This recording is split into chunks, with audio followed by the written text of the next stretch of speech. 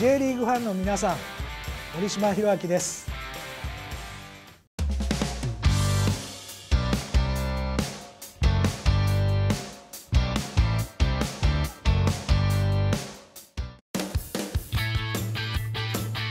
開幕戦でサンフレッチェと劇的やったですよね。勝ち方も。延長戦になって自分自身が、えー、山下隆選手と交代して通路をこう歩いてる時に山梨選手がそのまま出てってあのゴールしたと。ちょうど本当に歩いてこう後ろ向きでこう行ってる時の歓声で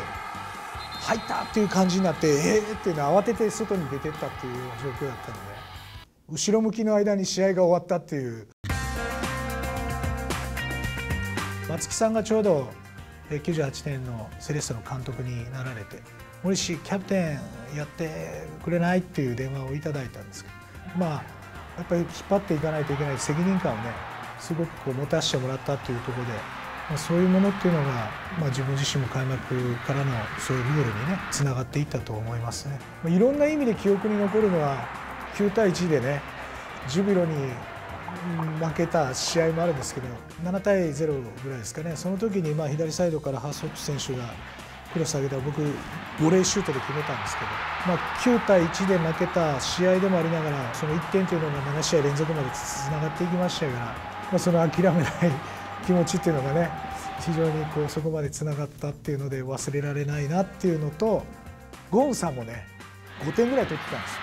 でその5点からゴンさんのあのギネスになるねハットトリックのね記録っていうのが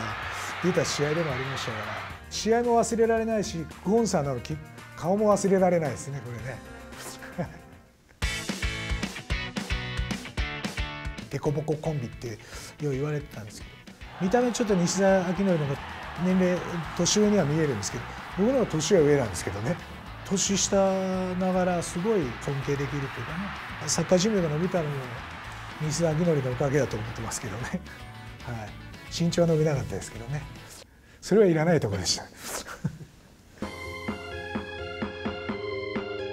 まあ、マリノスがちょうどもう勝てばもう三田で優勝っていうのがもう決まる試合でもありましたし、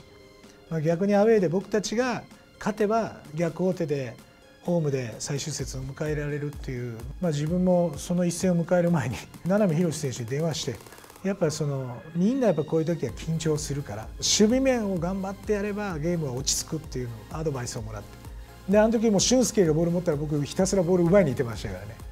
まあ、そういった中先制して追いつかれ先制して追いつかれ最後に、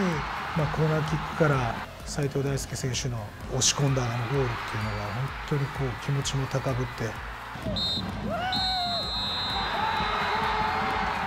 あれで優勝に一歩近づいたっていう本当にこう好ゲームだったな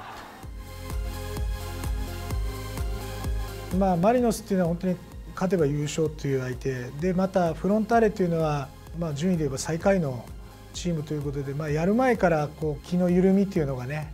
先制されながらも西田選手の、ね、ボレーシュートで同点には追いついたんですけどまあ最後こうね